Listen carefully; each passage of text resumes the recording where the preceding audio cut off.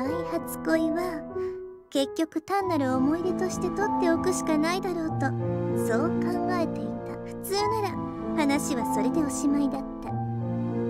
けれど普通ではないことが起こった。さっきも言った。まどかさんの死を。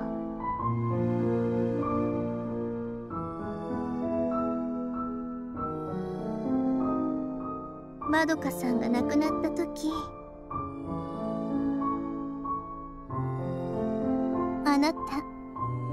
嬉しいと思ったわね。うんうんいいの。空虚な言葉が聞きたくないわ。そもそもアリサに言い訳したところで何の意味もないし。とにかくあなたは喜んだ。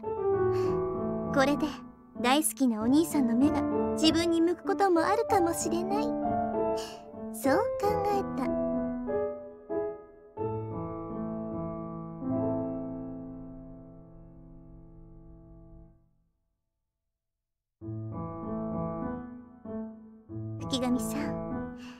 あなたって。悪い女だわ。悪い女は彼のことを諦めるべき。アリサはそう思うのよ。諦める。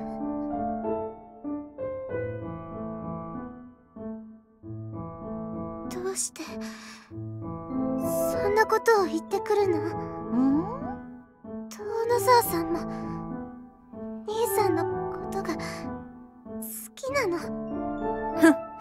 だからさっきから言っているでしょ？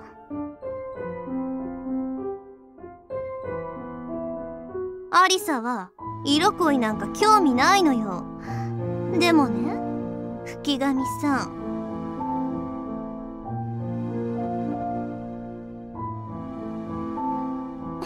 アリさお兄さんのことは欲しいの。だから悪い女のあなたは手を引いてくれないかしら。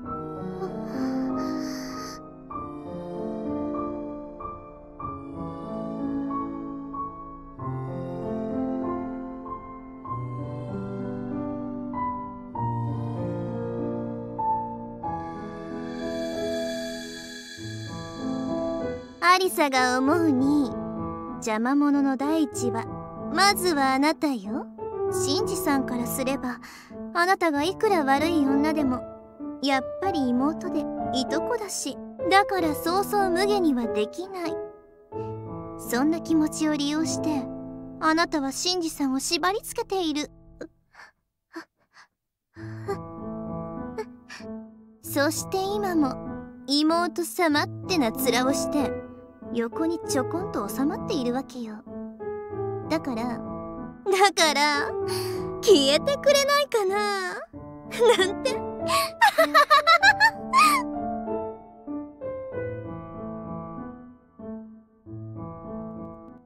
消えてくれない？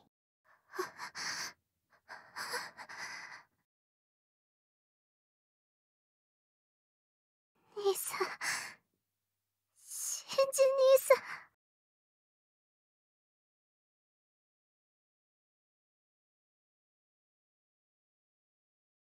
あ、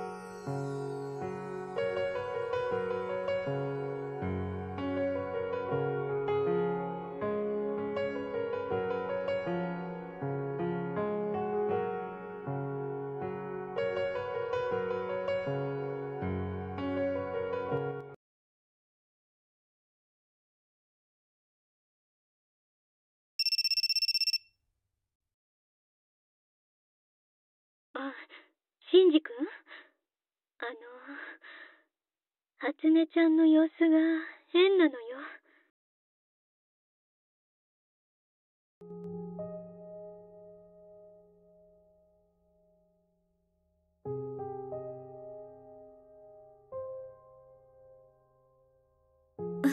シンジ君起こしても起きないのよ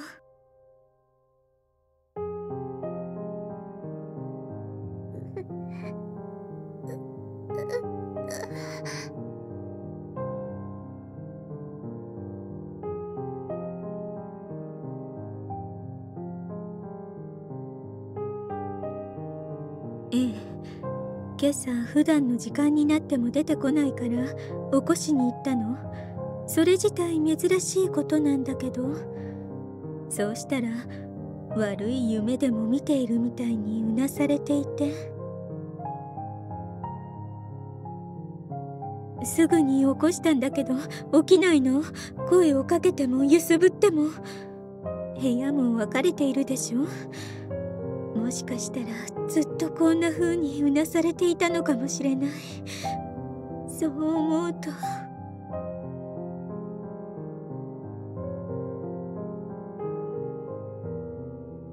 初音ちゃん初音ちゃん起きて。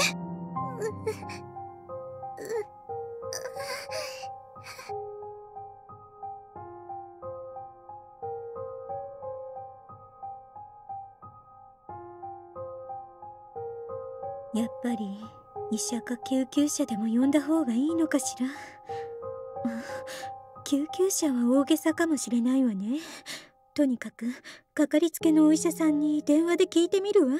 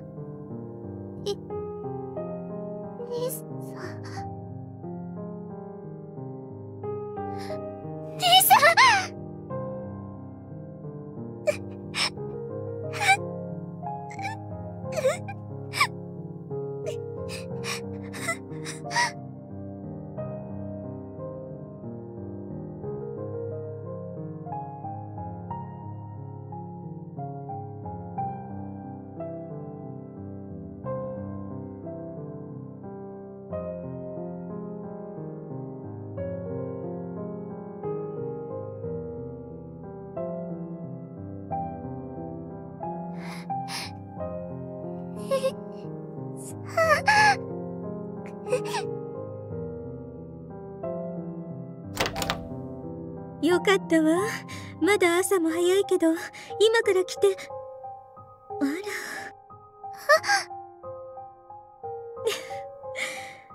お医者さんに来てもらおうと思ったけどやっぱり断った方がいい？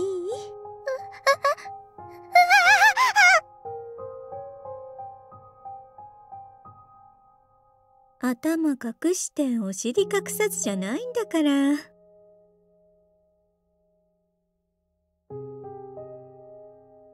そういう問題 まあとにかくお医者さんは断っておくわこんな時間に来てもらうのも悪いから。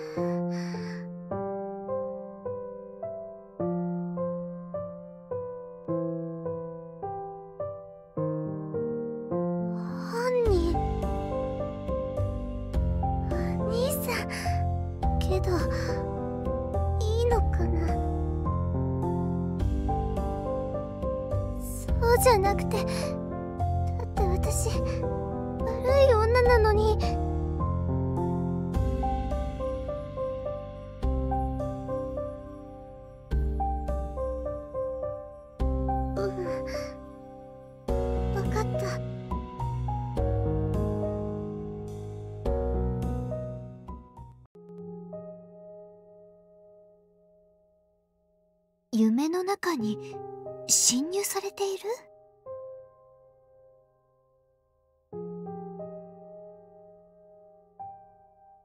あ、あええ。なるほど。今の説明からすると確かに特徴が現れてるのね。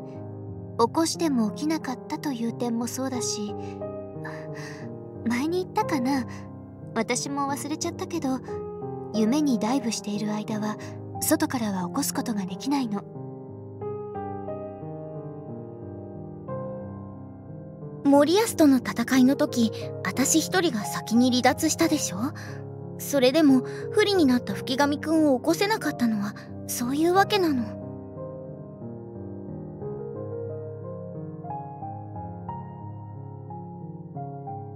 私もあまり考えたことなかったけど似たような能力の持ち主は他にもいたのかもしれないわね。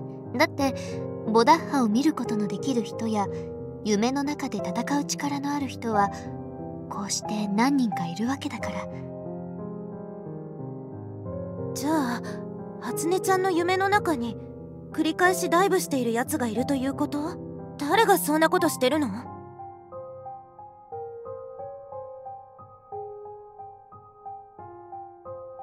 それは私たちで調べてみましょう。シンジ君の言いたいことはそういうことでしょ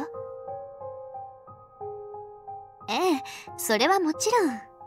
ただ先に初音ちゃんの了解は取っておいた方がいいでしょうね。いくら目的が目的とはいえ勝手にやるのも良くないでしょうし。つまりどういうこと？初音ちゃんの夢の中に私たちもダイブするのよ試したこともないから断言はできないけど多分夢の中で顔を合わせることができるんじゃないかな。犯人と。なるほど。じゃあ今夜にでも？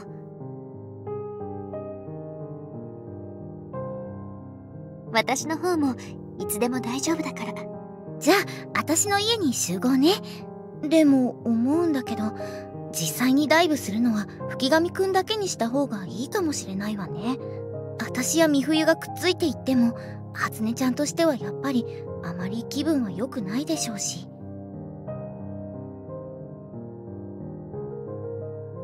うんうん。そんなこと。はでも犯人は一体どういうつもりなのかしらね。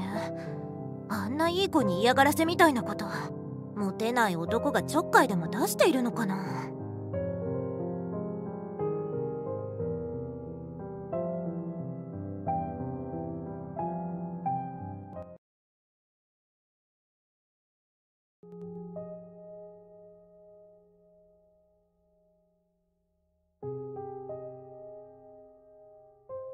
先輩。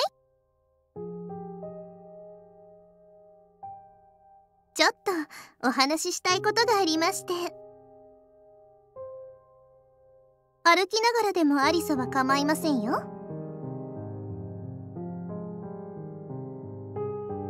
せ先輩少し待ってくださいよ。足早い。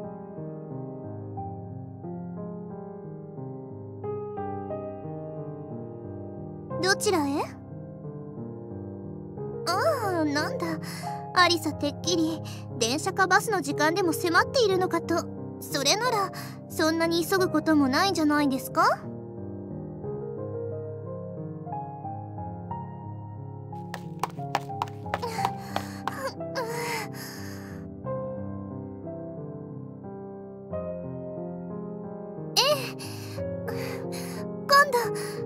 とデートしてくれませんか？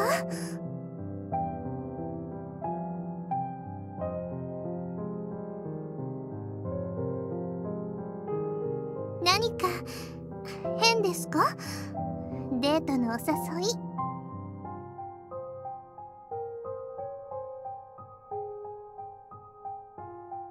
アリサ動物園なんか行きたいな。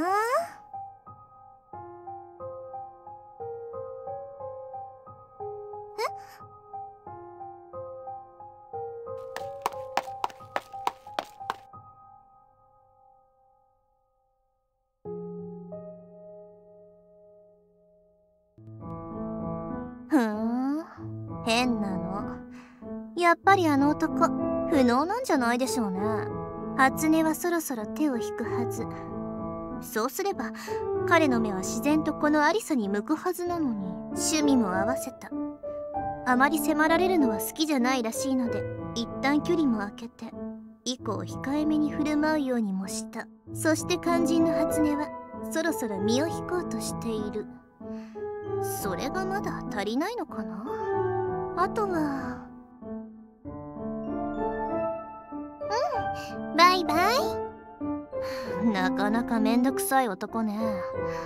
パパと違ってずいぶんガードが硬いみたい。パパは初めてアリサを見た時から汚らわしい劣情を抱いていた。そこをちょっと夢の中でつついてやればすぐに陥落したというのに。まいいわ。パパみたいに簡単に落ちちゃったらアリサとしてもつまらないし困難が伴えば伴うほど。自分のものにした時気持ちがいいというものよね。あの子やっぱりシンジに気があったのかな？でもなんかそんな風にも見えないんだよな。とにかくちゃんと断った方がいいよ。いやもっとはっきりと。俺は嫌っているんだ。みたいなこと。だってシンジそうなんでしょ？これは私の勘だけど彼女ある意味では頭が悪いんじゃないのかな。だからある意味よ。ほのめかすような言い方をしても彼女には通じない気がする。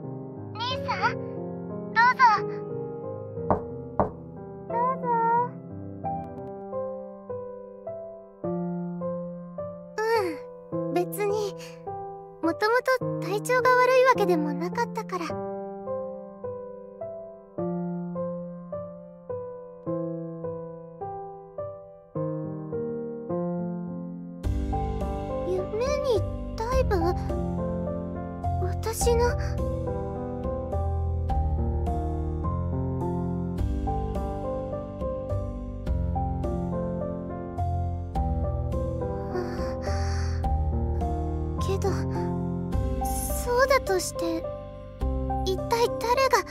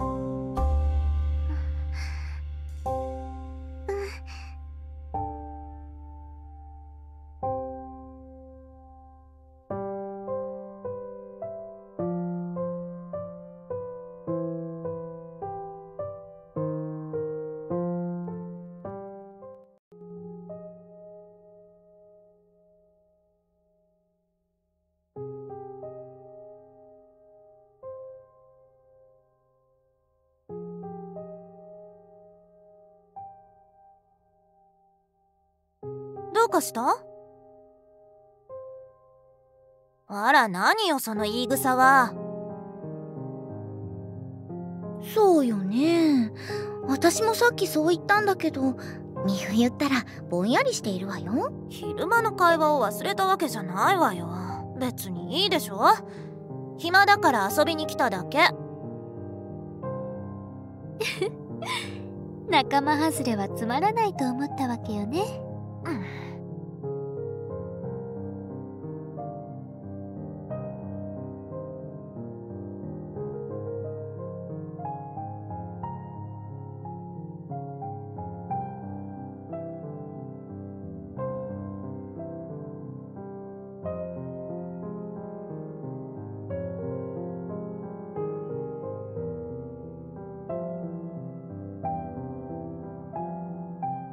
じゃあ行くわよ。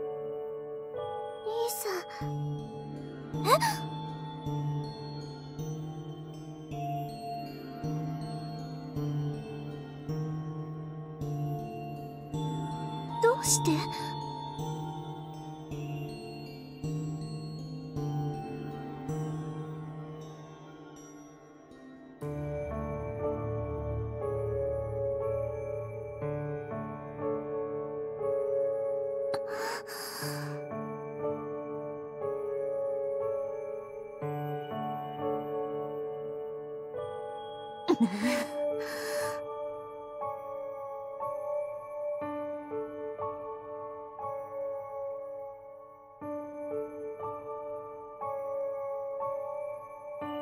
あ、なんとなくわかった。この人、自分が特別だと思っているんだ。だから、可能性に気がつかない。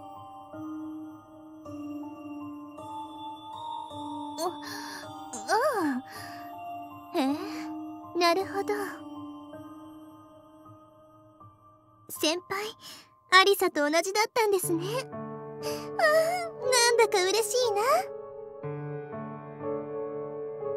演技だなんてそんな。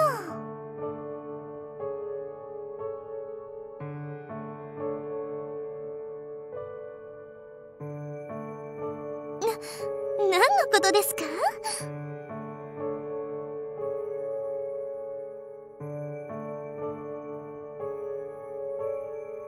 の目的ってそれはあのですねアリさんお友達が欲しいんです。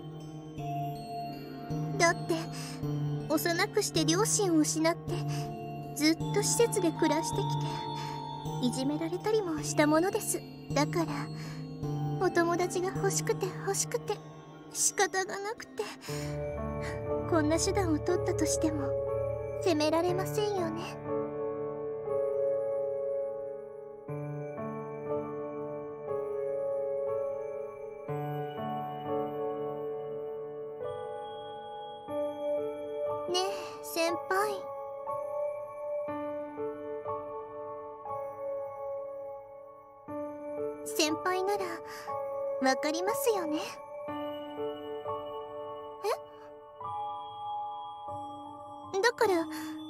アリサの境遇とか気持ちです。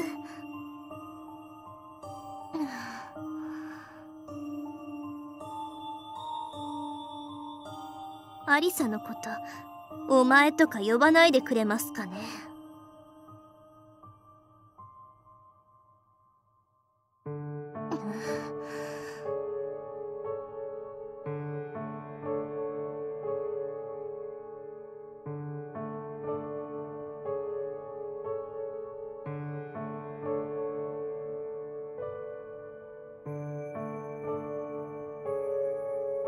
それは決まっているじゃないですか。先輩のこともっとよくいろいろ知りたかったからですよ。それで趣味も分かりました。先輩の好みがどんなタイプの人物なのかもアリサなるべくそれに合わせようとしたんですけど。その努力分かってもらえませんかね。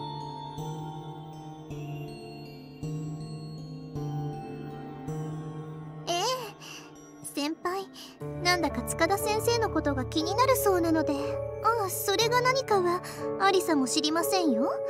教えてくれなかったから。